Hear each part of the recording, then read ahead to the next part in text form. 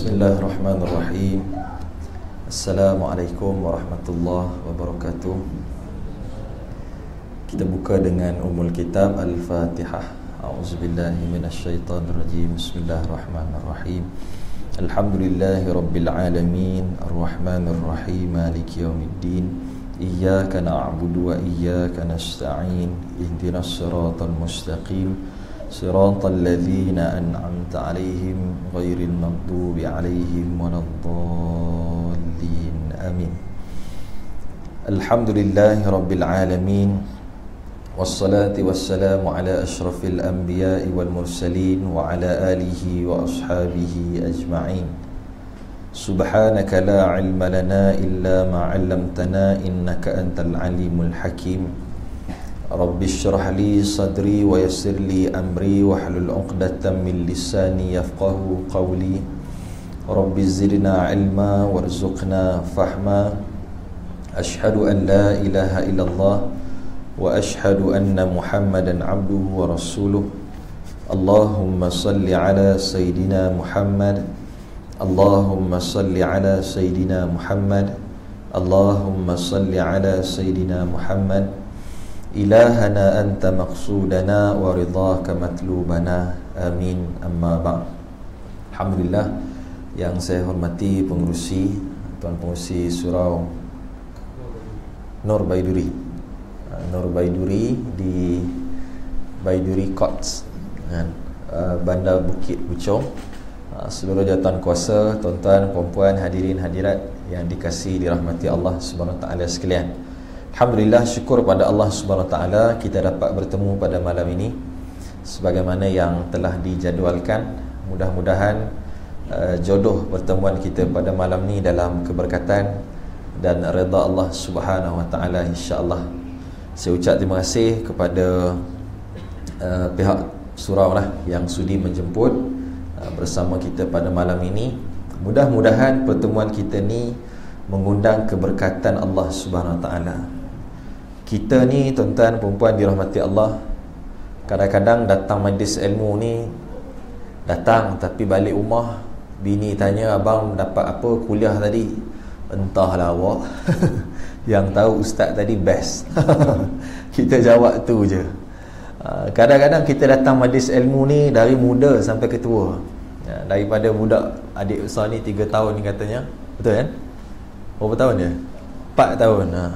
Sampai ketua kita datang kuliah ni Tapi nak kata faham sangat tu Tak juga ada begitulah kita. Kan? Tapi kat mana tuan-tuan dan perempuan Kita kena faham bahawa Pada majlis ilmu ni Dia mengundang barakah dan keberkatan Allah SWT Boleh jadi dengan sebab kehadiran kita Pada majlis ilmu begini Allah mudahkan urusan keluarga kita boleh jadi dengan sebab kita lepas solat maghrib ni Boleh je kita nak balik. Pengurusi tak marah pun. Tak ada pengurusi Hei kau nak pergi mana? Asal kau balik. Orang tak halang pun kita nak balik Tengok berita ke pukul 8 Nak makan malam ke. Tapi kita duduk sini Kita bukan nak apa sangat. Tapi sebab nak keberkatan Allah ni Antara lain mungkin Allah Selesaikan hutang piutang kita Mungkin kita ada perselisihan faham ayah dengan anak, suami isteri, maka Allah lembutkan hati salah seorang, akhirnya selesai hubungan suami isteri. Maka ini keberkatan-keberkatan yang dijanjikan oleh baginda Rasul sallallahu alaihi wasallam kepada mereka yang berada dalam majlis ilmu sebegini. Lagi-lagi lah tuan-tuan dirahmati Allah dalam sebuah hadis riwayat Imam Muslim yang disusun sebagai hadis peristiwa akhir zaman apa kata Rasulullah? Qala Rasulullah sallallahu alaihi wasallam an Abi Hurairah radhiyallahu anhu badiru bil a'mal al fitanan. Badiru bil a'mal al fitanan ka qit'al lailil muslim. Yusbiha rajulun mu'minan wa yumsa kafira. Aw yumsi mu'minan wa yusbihu kafira. Yabi'u dinahu bi'aradin minad dunya sadaqa Rasul sallallahu alaihi wasallam. Nabi sebut pada kita kita ni akan sampai suatu keadaan peristiwa akhir zaman. Ha ni adik-adik lah. Nabi habaq mai kat kita ni kita akan sampai suatu keadaan yang mana kalau kamu nampak keadaan tersebut itu adalah situasi ciri yang ada pada dunia akhir zaman dengan Nabi berpesan badiru bil a'mal al fitanan hendaklah kamu ni berlumba-lumba mengejarkan amal kebaikan. Beramallah sebanyak mungkin al fitanan pada zaman yang penuh dengan fitnah. Apa yang Nabi gambarkan fitnah tersebut? Kakita'al lailil muslim. Bahayanya fitnah akhir zaman ni seolah-olah malam yang gelap gelita. Kalaulah kita tutup lampu surau ni Tak nampak apa lah kita. Sebaik ada lampu jalan. Ha. Kalau siapa pernah masuk gua ha, Adik-adik pernah masuk gua tak? Ha, kalau berani cuba masuk. Gua ni adik-adik Tuan-tuan dan perempuan Kita celaklah mata luah mana pun Tak nampak apa. Itu yang diibaratkan Kakuta'al lail Seperti malam yang gelap gelita. Apa maksud dia? Kita pun pening Yang mana betul Yang mana salah. Kan? Hak ni kata boleh Yang ni kata tak boleh. Yang ni nampak macam okey tapi eh Islam tak bagi. Yang ni Islam bagi tapi macam tak kena dengan akal. Ha, kita pening confuse hak ni Ustaz A kata macam ni Ustaz B kata macam ni. Prof doktor ni kata A Prof doktor ni kata B. Kita pening. Ha, dunia akhir zaman itulah keadaannya. Sehingga Nabi menggambarkan antara sifat manusia zaman itu adalah mereka ini yusbihar rajul mu'minan wa yumsa kafiran. Ada kala mereka pada waktu pagi jadi beriman petang mereka jadi kufur. Eh molek-molek je semayang subuh dengan kita dekat surah Nur Baiduri tiba-tiba malam ai tak pakai tudung dia. Tadi telekong molek-molek contoh ha, kan? Eh subuh tadi kan berjemaah cik jadi imam lagi. Alhamdulillahirabbilalamin sedap imam jemputan kita. Tengok-tengok petang tu imam main bola seluar pendek. Manusia akhir zaman boleh berlaku keadaan. Bukan imam sini lah Imam Afrika Selatan. Bukan Baiduri sini Baiduri dekat Mongolia. Kan? Kita confuse kan? Eh kata ustazah Tapi tak macam ustazah pun. Ustazah adalah ha. Nabi juga sebut Boleh jadi pada waktu itu Ada orang yang petangnya beriman Paginya kufur. Sehingga kan pada waktu itu Yabi'u dinahu bi'aradim minad dunia. Manusia sanggup menjual agama dia semata-mata untuk keuntungan dunia. Maka Nabi sebut dalam riwayat yang lain riwayat hadis Ibnu Majah siapa yang akan selamat? Tuan-tuan perempuan dirahmati Allah adik-adik. Siapa yang akan selamat? Orang yang akan selamat adalah orang yang selalu menghidupkan diri dia ataupun kehidupan dia ni disebukkan dengan ilmu. Ha, memang ilmu. Tuan-tuan tajuk tak masuk lagi ni. Ha, kita habis subuh boleh subuh. Boleh ustaz seorang. Kami balik ustaz bayangkan 2017 kita dah berhadapan dengan keadaan ini. Kita boleh mengaku lah kot daripada hadis ni kan. Kalau dengar hadis ni eh ni zaman kita ni. Agak-agak adik-adik ni besar nanti apa cerita tuan-tuan? Adik dah jawab apa? Ni baju merah. 6 tahun depan kata satu lah. Adik ni? Enam. Sama. Semua enam. Adik ha. Empat. Subhanallah. Tuan-tuan, 2017 kita dah berhadapan dengan keadaan masyarakat yang sangat tenang. Mana tak tenang tuan-tuan? Apa tak tenangnya? Dulu kalau kita dengar cerita apa? Cikgu-cikgu disiplin keluar sekolah bercala kereta cikgu. Eh cikgu bercala kereta cikgu. Siapa buat? Budak tu lah. Saya rotan dia tadi. Cikgu disiplin. Ha kan? dia balas macam tu lah bercala kereta saya sebab tu saya tak tukar kereta Ustaz duk pakai kancil ni je ready dah nak kena cala. Kan? cikgu keluar sekolah bocor tayar kereta cikgu. Eh kenapa cikgu? Budak-budak nakal ni lah.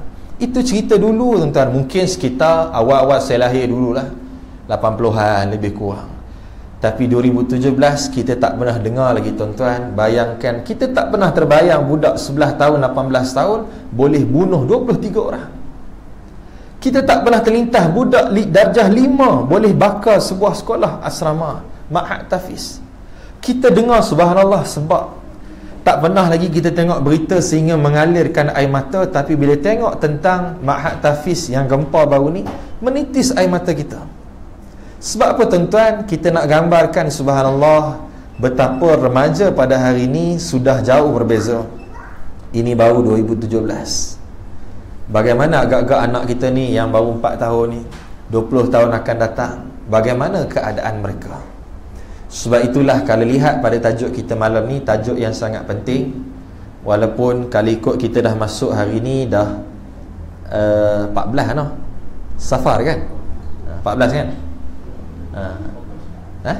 14 safar. Uh, tapi tajuk kita hijrah tak apalah. Uh, Muharram Safar. Kita dah bulan kedua tahun baru. Uh, kena bagi tahu anak-anak ni adik kita dalam tahun baru gitu.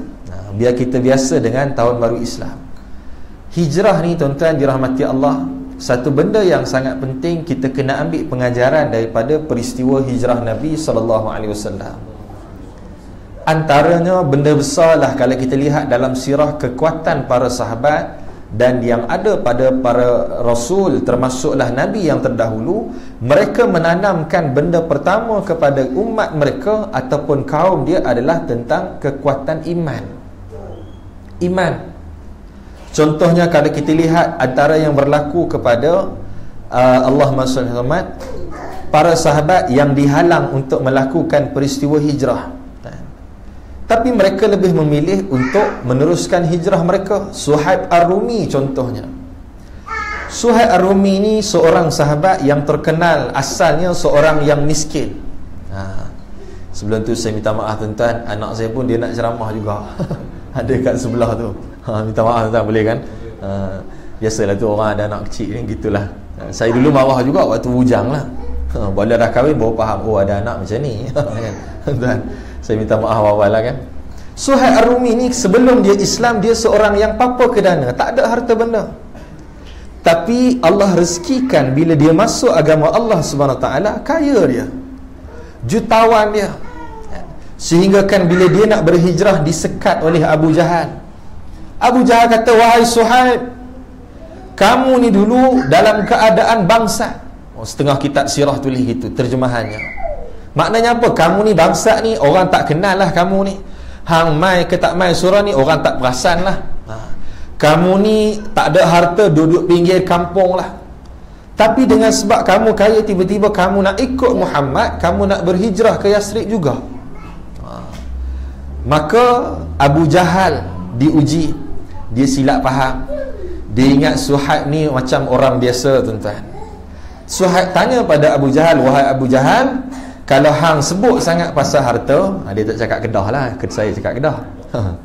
Hang nak sangat harta kalau aku bagi harta ni adakah kamu akan lepaskan aku? Kata Abu Jahal boleh ya? Oh dia ingat Suhaib kalah dengan harta.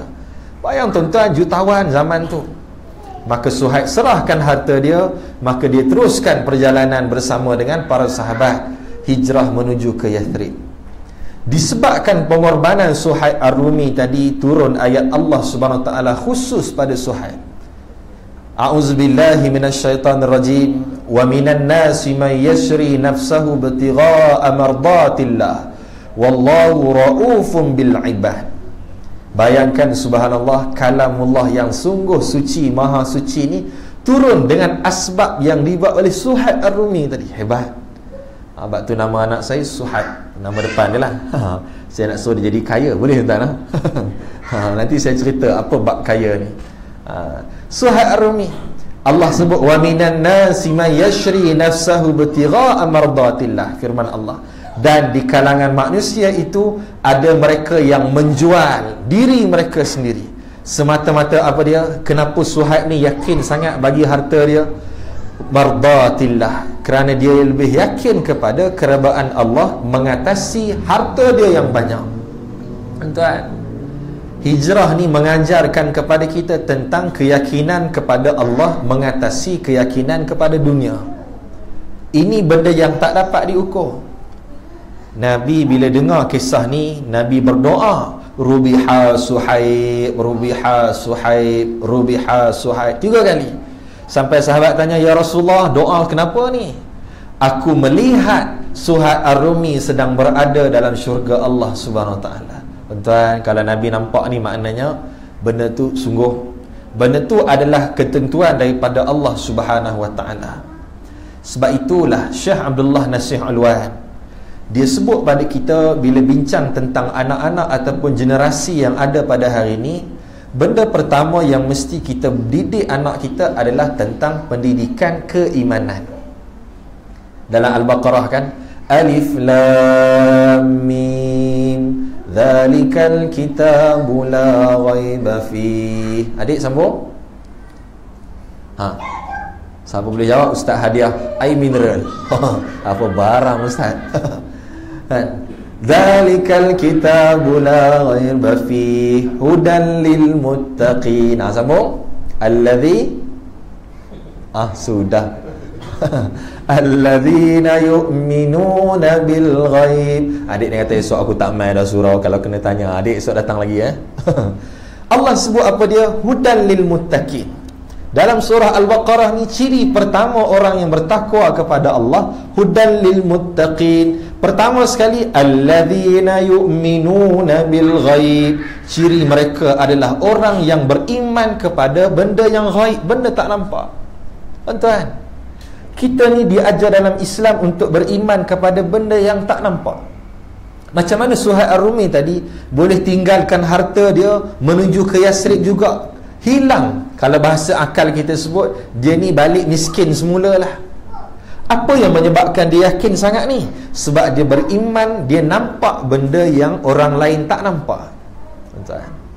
Dia nampak apa dia? Dia nampak redha Allah lebih besar daripada harta kekayaan dia. Sahabat saya balik raya haji baru ni tuan-tuan. Dalam kereta ada 14 ribu. Ha, Duit meniaga bisnes Dia owner bisnes. Kumpul-kumpul dapatlah 14 ribu Nak bawa balik dekat mak ayah di Kedah. Mak ayah ni tua dah. Ada duit sikit tambahlah rumah. Tak ada duit tak buat lah ha, Jadi harap anak-anak lah bagi duit ni. Kan? Berhentilah RNR tak tahan. Nak terkencing. Nak terkencing Berhenti RNR Lupa kunci pintu. Subhanallah.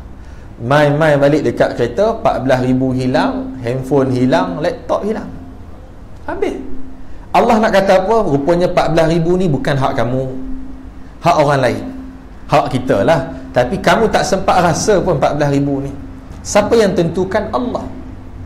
Siapa yang tentukan? Kita baru je beli BMW Baru je turun kereta. Bam! Kena langgar lori tuan Oh bukan hak kita rupanya BMW ni. Baru beli. Kumpul duit ni.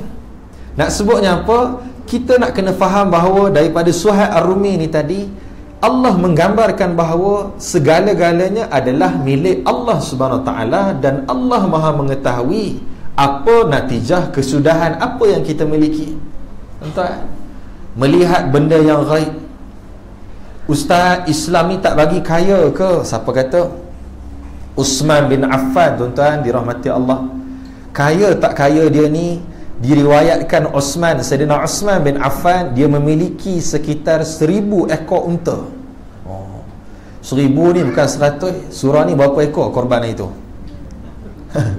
Sekor je ha? sekor kan? Hak tu berletih lah oh mana orang muda tak turun ni? Orang muda tak tolong perbah lembu. Ha. Saya pun pelik juga yang sadar-sadar bina badan ni tak ada. Waktu baringkan lembu tak ada. Ha, waktu makan turun kan? Besar badan Assalamualaikum waktu nak sembelih lembu tak ada entah ni masalah orang kita. Seribu ekor unta milik Osman bin Affan. Bahasanya kalau hari tu kalau zaman 2017 ni kira depan rumah Osman bin Affan ni Mercedes Benz lah seribu biji. Zaman tu. Siapa ada unta ni kaya lah. Subhanallah. Seribu ekor unta. Bila Nabi sebut nak guna dalam medan tabuk Peperangan tabuk Dia bagi 950 ekor unta Untuk digunakan oleh Rasulullah Sallallahu Alaihi Wasallam Untuk digunakan di jalan Allah Wih yakinnya 950 daripada 1000 Tinggal berapa? 50 tuan Makna bahasa fahaman kita 50 ni cukup-cukup lah keluarga Adalah sikit simpanan Cukup lah tu Hak lain ni bagi semua di jalan Allah Siapa kata Islam tak bagi kaya? Kaya lah. Zubar Al-Awwah. Ada sepuluh buah rumah di Madinah. Ha. Kita ada satu. Eh? Kan? Walaupun banglo baru sebuah. Siapa ada rumah sepuluh buah? Janganlah. Ada tu kaya sungguh. Satu di Kufah. Satu di Basrah. Dan tak salah ingat saya, dua buah di Mesir. Berapa tu? Empat belah. Milik Zubar Al-Awwah bila Nabi nak guna di jalan Allah dia bagi separuh daripada harta dia untuk digunakan di jalan Allah Subhanahu Wa Taala. Kayalah tuan-tuan, tapi kaya yang memudahkan urusan akhirat kita. Jangan kaya yang membanyakkan soalan akhirat. ha.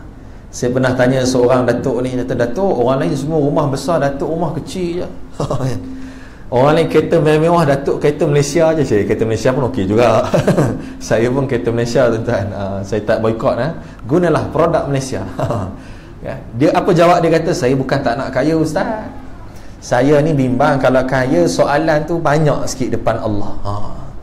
Sebab harta ni soalan dia banyak Orang kaya antara orang yang lama hisap dia Sebab setiap sen tu ditanya oleh Allah Subhanahu Taala. Ni ni hang pakai saga proton saga saya lah ni. Duit mana setiap sen kamu dapat untuk beli saga tadi? Satu. Yang kedua Allah tanya pula, setiap sen ke mana saga ni digunakan?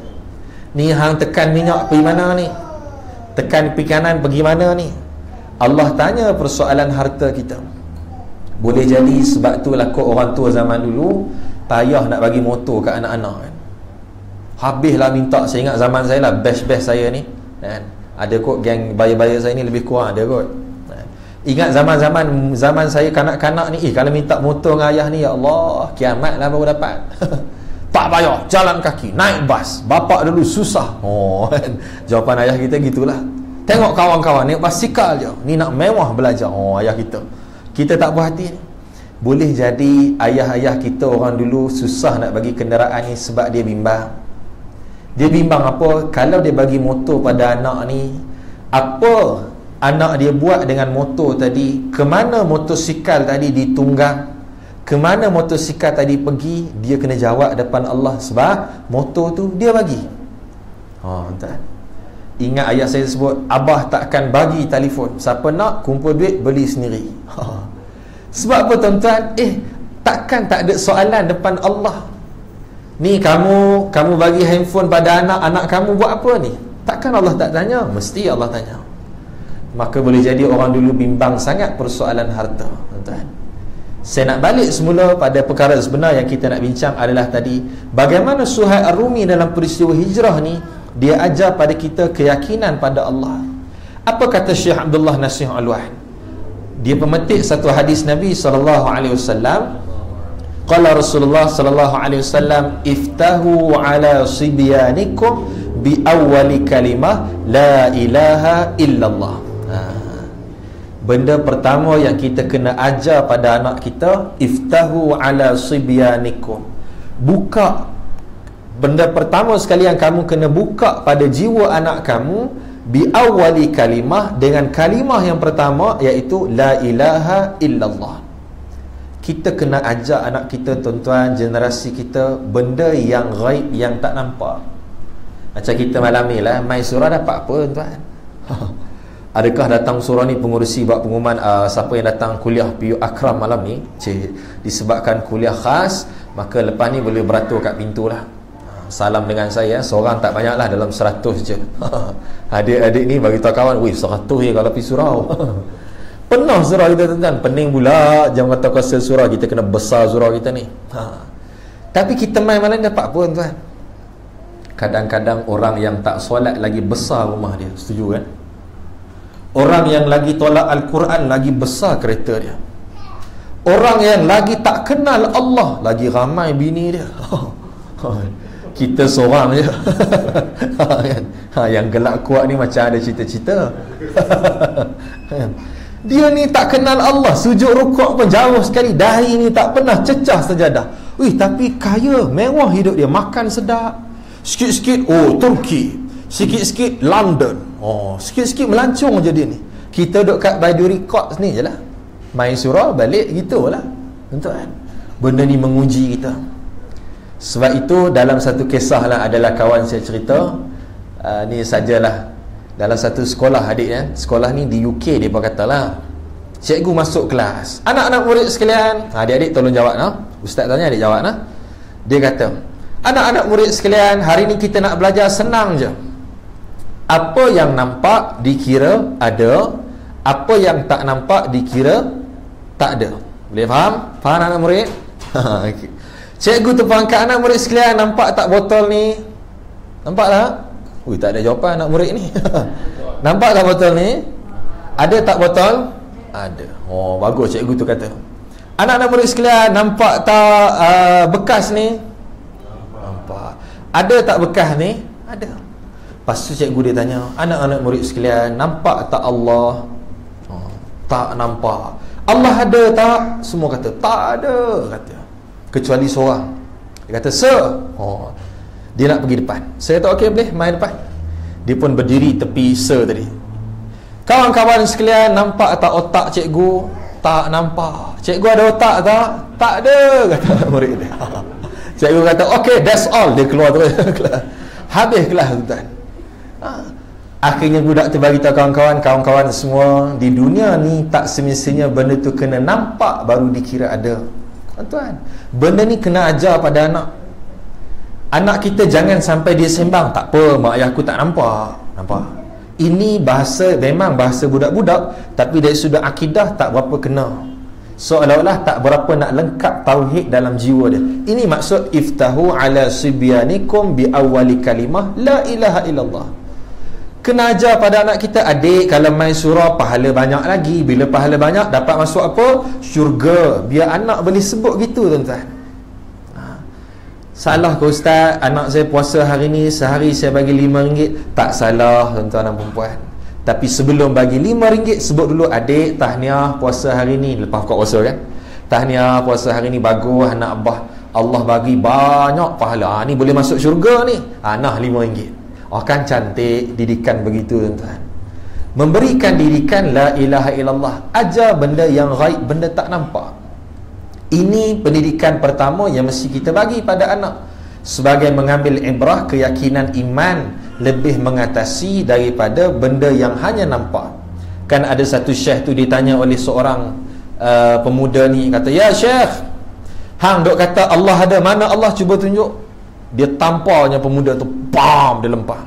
"Oi, hang ni ulama terkenal, sepatutnya dikenali dengan akhlak yang baik. Aku tanya molek-molek kenapa tampar aku?" Dia kata sebelum aku jawab soalan kamu Sakit tak aku tampar tadi? Sakit ah, tanya lagi oh, oh Saya cuba menyedapkan cerita tuan eh? Ah, dia tukang cerita ni kena power juga ya.